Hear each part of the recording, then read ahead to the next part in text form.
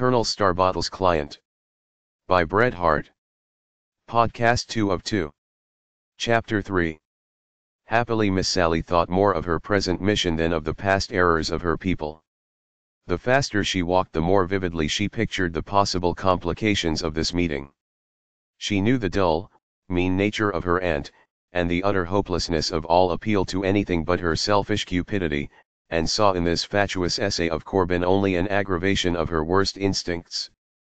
Even the dead body of her son would not only whet her appetite for pecuniary vengeance, but give it plausibility in the eyes of their emotional but ignorant neighbors. She had still less to hope from Julia Jeffcourt's more honest and human indignation but equally bigoted and prejudiced intelligence.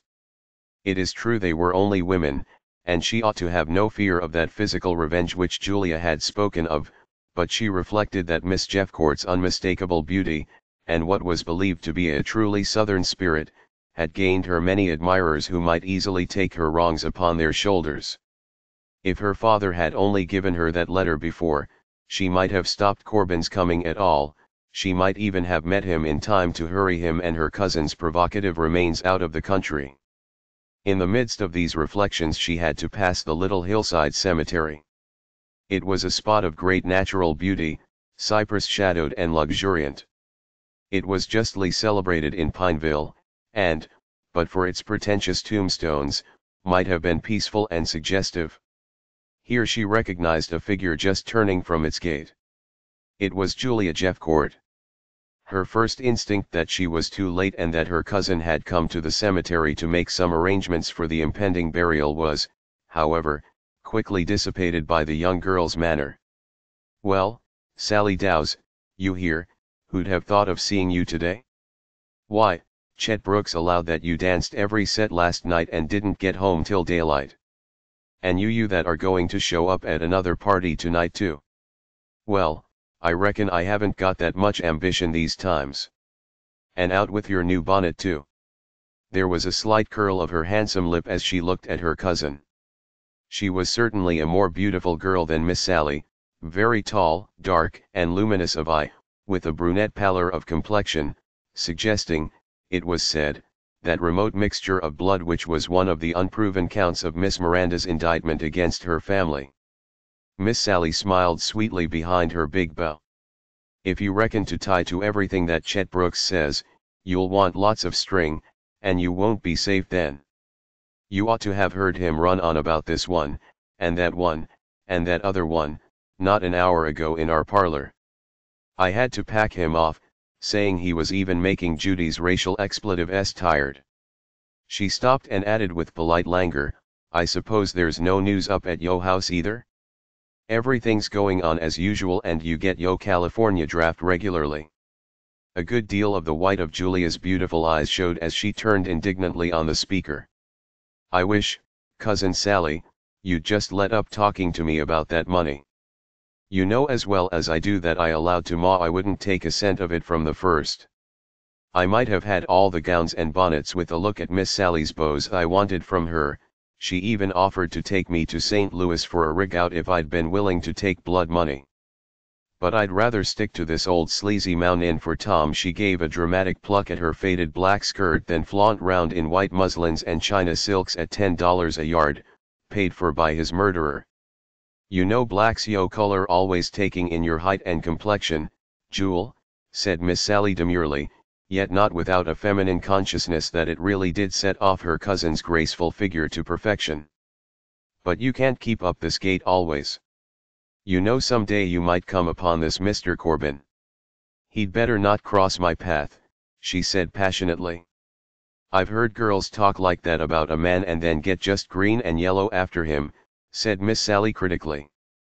But goodness me, speaking of meeting people reminds me I clean forgot to stop at the stage office and see about bringing over the new overseer.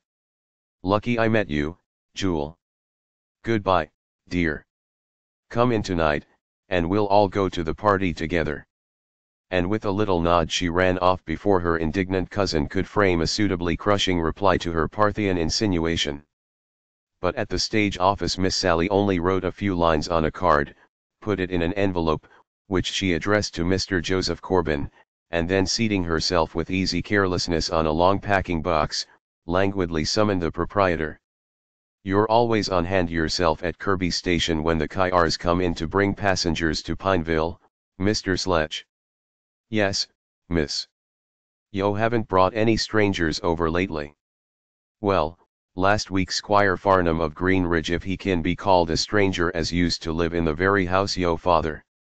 Yes, I know, said Miss Sally, impatiently, but if an entire stranger comes to take a seat for Pineville, you ask him if that's his name, handing the letter, and give it to him if it is. And Mr. Sledge it's nobody's business but yours and mine. I understand, Miss Sally, with a slow, paternal, tolerating wink. He'll get it, and nobody else, sure. Thank you, I hope Mrs. Sledge is getting round again. Powerfully, Miss Sally. Having thus, as she hoped, stopped the arrival of the unhappy Corbin, Miss Sally returned home to consider the best means of finally disposing of him. She had insisted upon his stopping at Kirby and holding no communication with the Jeffcourts until he heard from her, and had strongly pointed out the hopeless infelicity of his plan.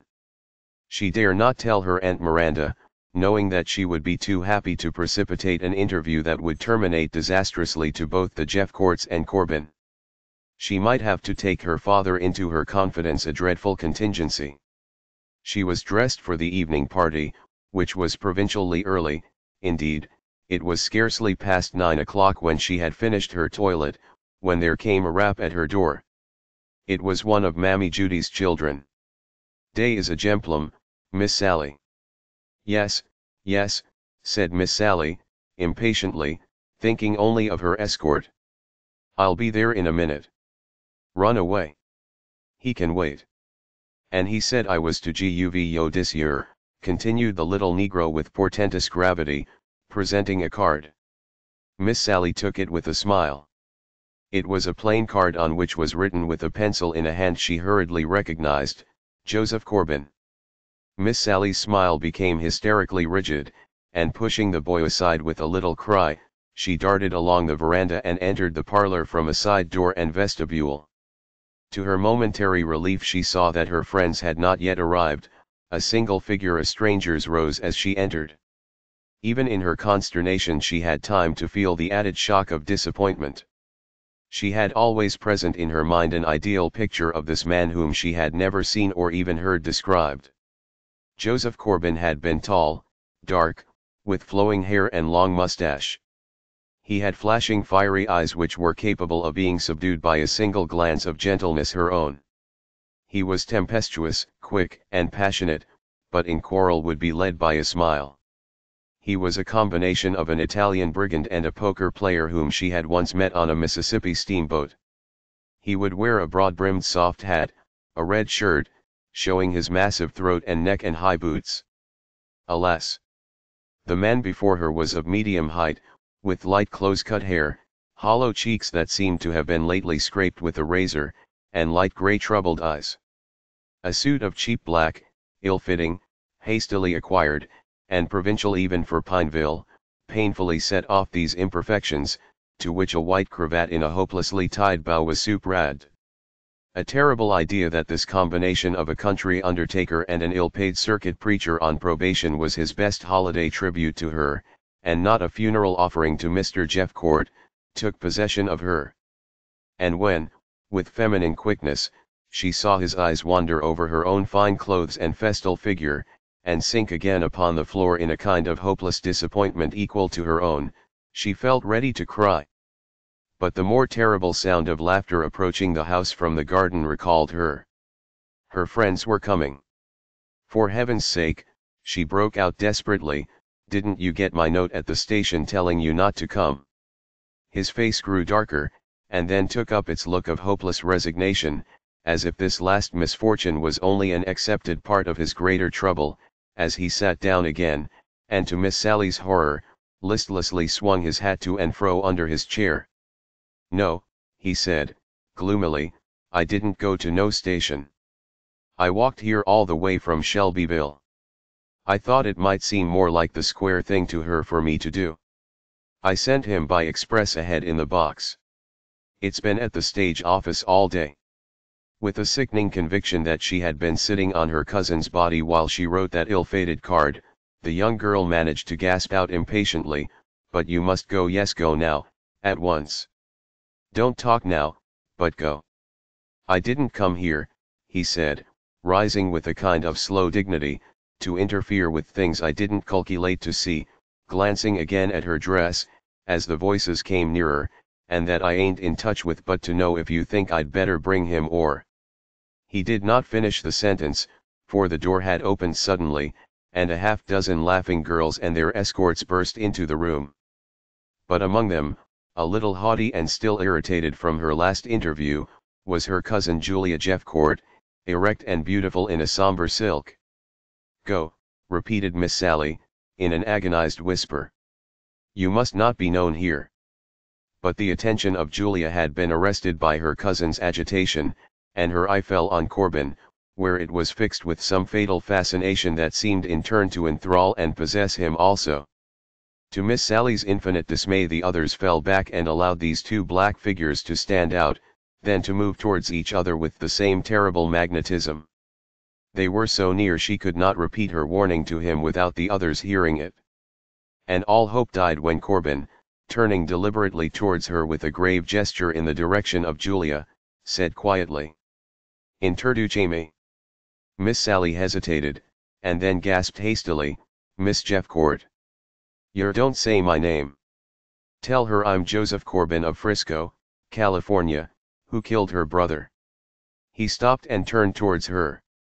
I came here to try and fix things again and I brought him. In the wondering silence that ensued the others smiled vacantly, breathlessly and expectantly, until Corbin advanced and held out his hand, when Julia Jeffcourt, drawing hers back to her bosom with the palms outward, uttered an inarticulate cry and and spat in his face. With that act she found tongue reviling him, the house that harbored him, the insolence that presented him, the insult that had been put upon her. Are you men, she added passionately, who stand here with the man before you that killed my brother, and see him offer me his filthy villainous hand and dare not strike him down. And they dared not. Violently, blindly, stupidly moved though all their instincts, though they gathered hysterically around him, there was something in his dull self-containment that was unassailable and awful. For he wiped his face and breast with his handkerchief without a tremor, and turned to them with even a suggestion of relief. She's right, Gentlemen, he said gravely. She's right. It might have been otherwise. I might have allowed that it might be otherwise but she's right. I'm a South End man myself, gentlemen, and I reckon to understand what she has done. I killed the only man that had a right to stand up for her, and she has now to stand up for herself. But if she wants and you see she allows she wants to pass that on to some of you, or all of you, I'm willing. As many as you like, and in what way you like I waive any shice of weapon I'm ready, gentlemen. I came here with him for that purpose.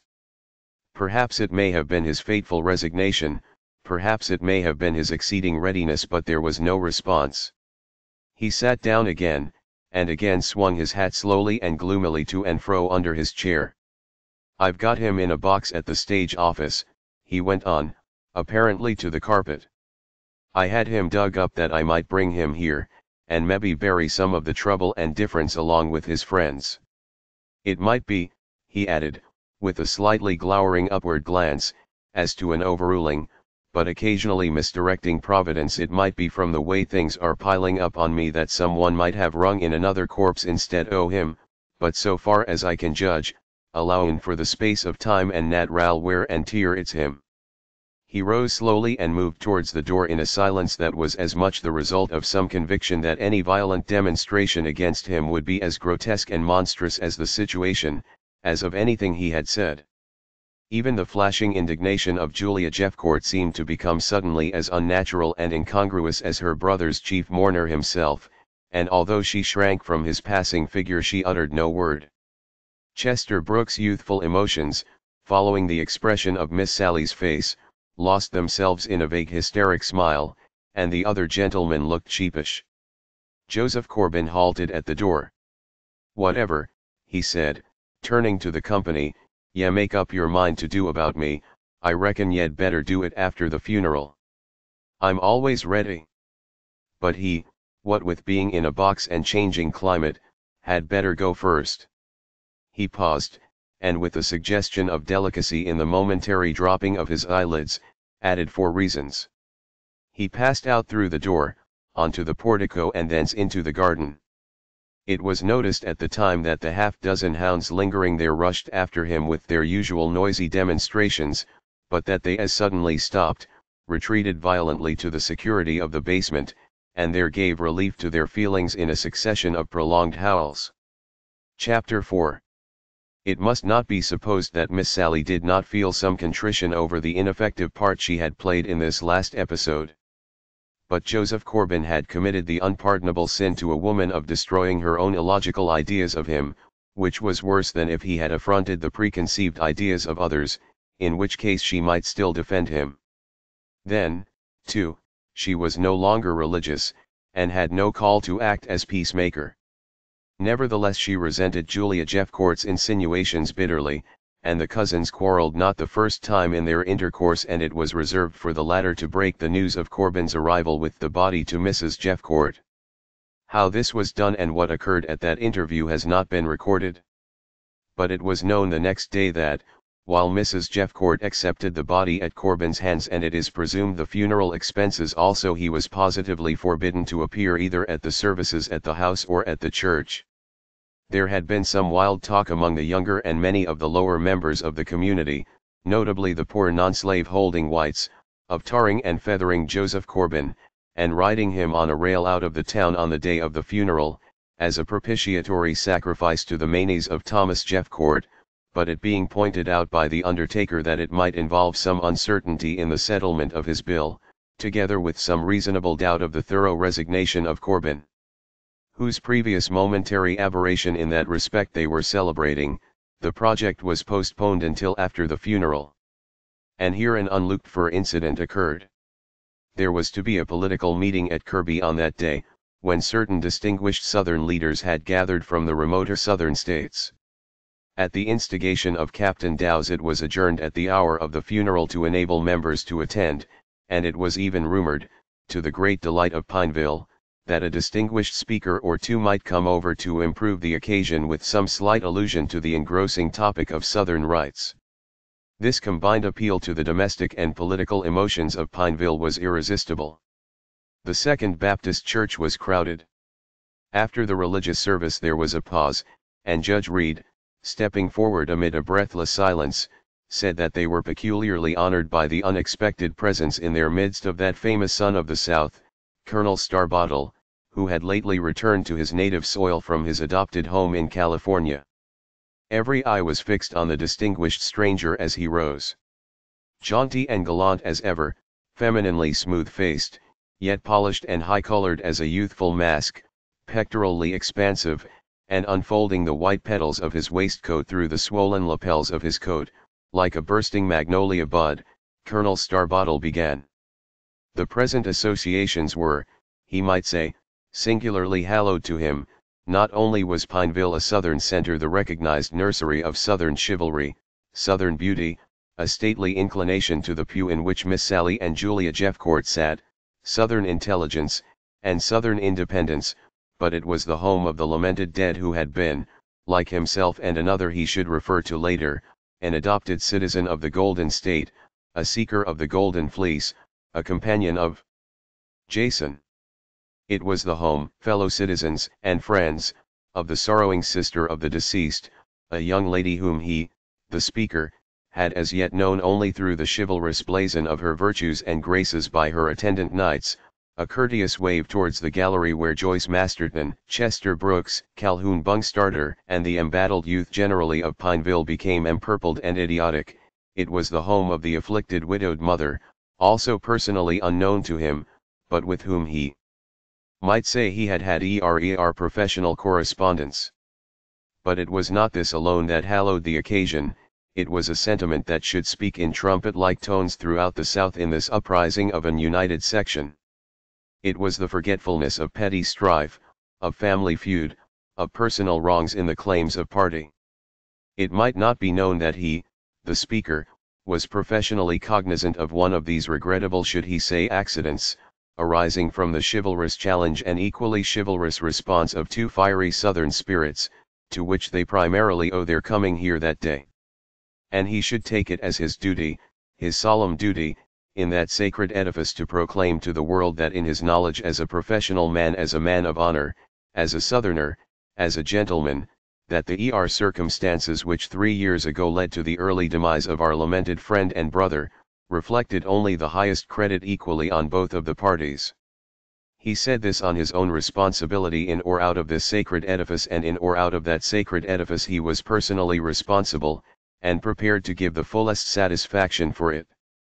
He was also aware that it might not be known or understood that since that boyish episode the survivor had taken the place of the departed in the bereaved family and ministered to their needs with counsel and ERER pecuniary aid, and had followed the body afoot across the continent that it might rest with its kindred dust.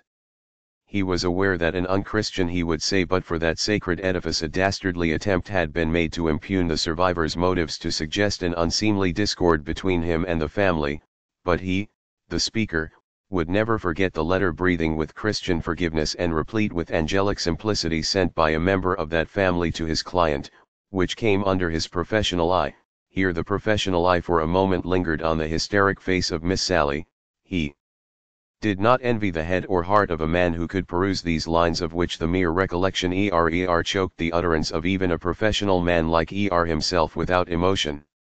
And what, my friends and fellow citizens, suddenly continued the colonel, replacing his white handkerchief in his coat tail, was the reason why my client, Mr. Joseph Corbin whose delicacy keeps him from appearing among these mourners comes here to bury all differences, all animosities, all petty passions. Because he is a son of the South, because as a son of the South, as the representative, and a distant connection, I believe, of my old political friend, Major Corbin, of Nashville, he wishes here and everywhere, at this momentous crisis, to sink everything in the one all-pervading, all-absorbing, one and indivisible unity of the South in its resistance to the Northern usurper. That, my friends, is the great, the solemn, the Christian lesson of this most remarkable occasion in my professional, political, and social experience. Whatever might have been the calmer opinion, there was no doubt that the gallant colonel had changed the prevailing illogical emotion of Pineville by the substitution of another equally illogical, and Miss Sally was not surprised when her father, touched by the colonel's allusion to his daughter's epistolary powers, insisted upon bringing Joseph Corbin home with him, and offering him the hospitality of the Dows mansion. Although the stranger seemed to yield rather from the fact that the Dows were relations of the Jeffcourts than from any personal preference, when he was fairly installed in one of the appropriately gloomy guest chambers, Miss Sally set about the delayed work of reconciliation theoretically accepted by her father, and cynically tolerated by her Aunt Miranda. But here a difficulty arose which she had not foreseen. Although Corbin had evidently forgiven her defection on that memorable evening, he had not apparently got over the revelation of her giddy worldliness, and was resignedly apathetic and distrustful of her endeavors. She was at first amused, and then angry. And her patience was exhausted when she discovered that he actually seemed more anxious to conciliate Julia Jeffcourt than her mother. But she spat in your face, she said, indignantly. That's so, he replied, gloomily, but I reckoned you said something in one of your letters about turning the other cheek when you were smitten. Of course, as you don't believe it now, he added with his upward glance, I suppose that's been played on me, too but here Miss Sally's spirit lazily rebelled. Look here, Mr. Joseph Jeremiah Corbin, she returned with languid impertinence, if instead of cavorting round on your knees trying to conciliate an old woman who never had a stroke of luck till you killed her son, and a young girl who won't be above letting on afore you think it that you're conciliating her means spark in her, if instead of that foolishness you'd turn your hand to trying to conciliate the folks here and keep em from going into that fool's act of breaking up these United States. If instead of digging up second-hand corpses that's already been put out of sight once you'd set to work to try and prevent the folks about here from digging up their old cranks and their old whims, and their old women fancies, you'd be doing something like a Christian and a man. What's yo blood guiltiness I'd like to know alongside of the blood guiltiness of those fools who are just wild to rush into it, led by such turkey cocks as yo friend Colonel Starbottle. And you been five years in California a free state and that's all yo ve toted out of it a dead body. There now, don't sit there and swing yo hat under that chair, but rouse out and come along with me to the potty if you can shake a foot, and show Miss Pinkney and the girls yo fit for something ammo than to skirmish round as a black Japan spittoon for Julia Jeffcourt. It is not recorded that Corbin accepted this cheerful invitation, but for a few days afterwards he was more darkly observant of, and respectful to, Miss Sally. Strange indeed if he had not noticed although always in his resigned fashion the dull green stagnation of the life around him, or when not accepting it as part of his trouble he had not chafed at the arrested youth and senile childishness of the people. Stranger still if he had not at times been startled to hear the outgrown superstitions and follies of his youth voiced again by grown-up men, and perhaps strangest of all if he had not vaguely accepted it all as the hereditary curse of that barbarism under which he himself had survived and suffered. The reconciliation between himself and Mrs. Jeffcourt was superficially effected, so far as a daily visit by him to the house indicated it to the community, but it was also known that Julia was invariably absent on these occasions. What happened at those interviews did not transpire, but it may be surmised that Mrs. Jeffcourt, perhaps recognizing the fact that Corbin was really giving her all that he had to give, or possibly having some lurking fear of Colonel Starbottle, was so far placated as to exhibit only the average ingratitude of her species towards a regular benefactor. She consented to the erection of a small obelisk over her son's grave, and permitted Corbin to plant a few flowering shrubs, which he daily visited and took care of. It is said that on one of these pilgrimages he encountered Miss Julia, apparently on the same errand, who haughtily retired. It was further alleged, on the authority of one of Mammy Judy's little racial expletives, that those two black mourning figures had been seen at nightfall sitting opposite to each other at the head and foot of the grave, and glowering at one another like two hands. But when it was asserted on the same authority that their voices had been later overheard uplifted in some vehement discussion over the grave of the impassive dead, great curiosity was aroused. Being pressed by the eager Miss Sally to repeat some words or any words he had heard them say, the little witness glibly replied, Moss Lincoln, Lincoln, and the Suv, and so, for the time, shipwrecked his testimony. But it was recalled six months afterwards.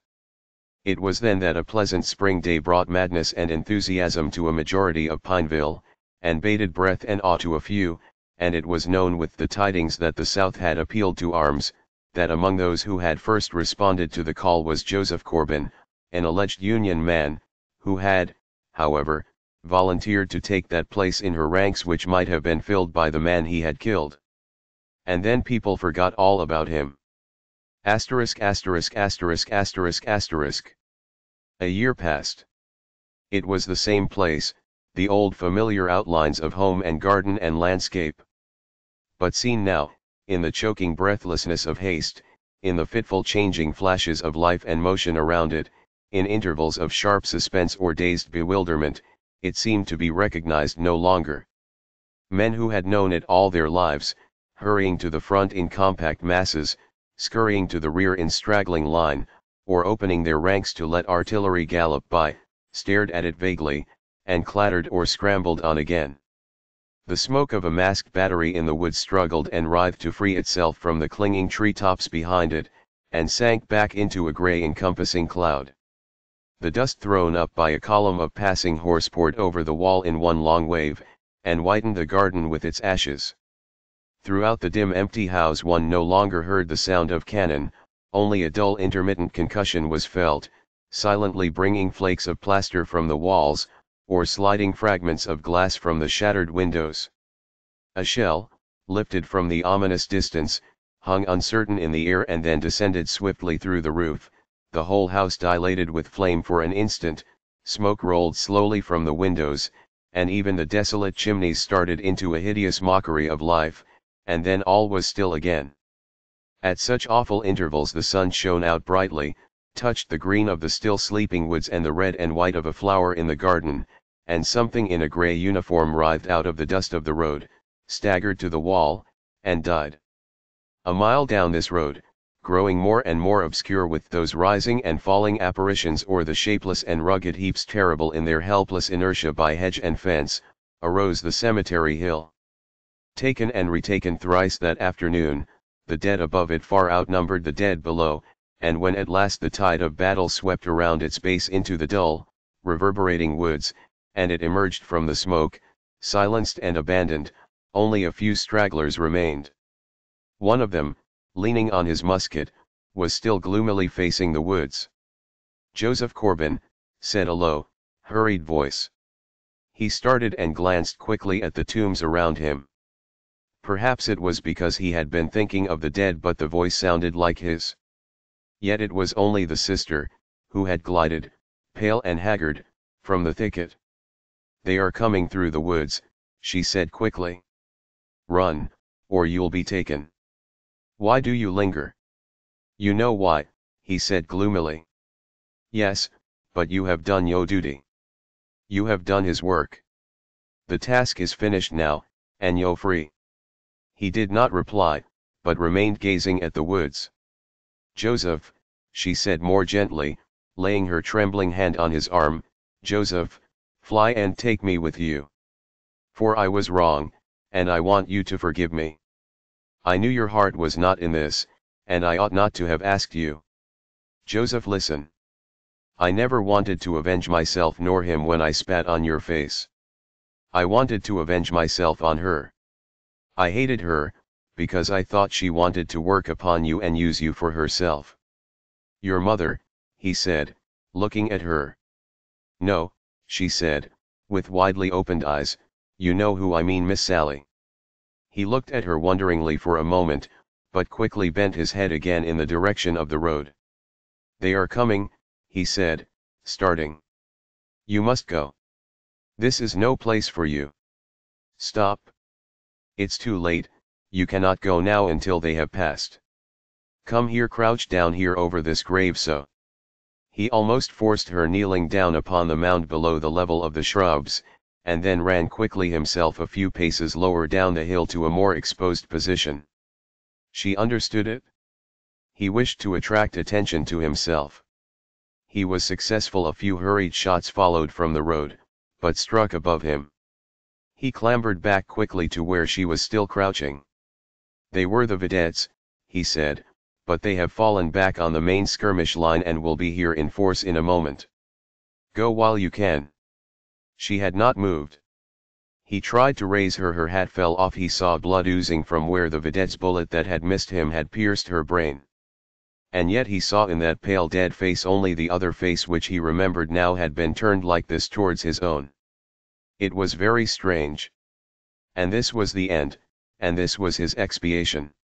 He raised his own face humbly, blindly, despairingly to the inscrutable sky, it looked back upon him from above as coldly as the dead face had from below.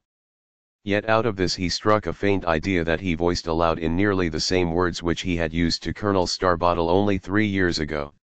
It was with his own pistol too, he said, and took up his musket. He walked deliberately down the hill, occasionally trying the stock of his musket in the loose earth, and at last suddenly remained motionless, in the attitude of leaning over it.